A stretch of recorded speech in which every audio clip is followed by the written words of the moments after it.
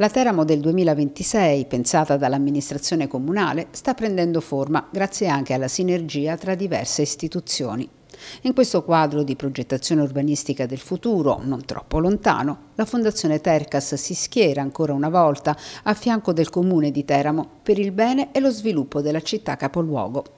L'azione della Fondazione non è nuova a questo genere di impegno. Solo recentemente l'ente ha provveduto a mettere a disposizione del Comune uno studio di fattibilità per il recupero del Teatro Comunale di Teramo, che ha poi ottenuto l'assegnazione del finanziamento di circa 12 milioni di euro nell'ambito delle risorse messe a disposizione dal PNRR. Anche per quanto riguarda il recupero del teatro romano di Teramo, il bene archeologico più importante d'Abruzzo, la Fondazione Tercas non ha fatto mancare il proprio sostegno sia finanziario che progettuale. A questi due interventi oggi se ne aggiunge un altro, altrettanto strategico per Teramo. Parliamo della riqualificazione di Piazza Sant'Anna, un gioiello incastonato nel centro storico della città, dove insistono due antichissime chiese, Sant'Anna appunto e Santa Caterina, e dove è possibile ammirare i resti di una domus romana.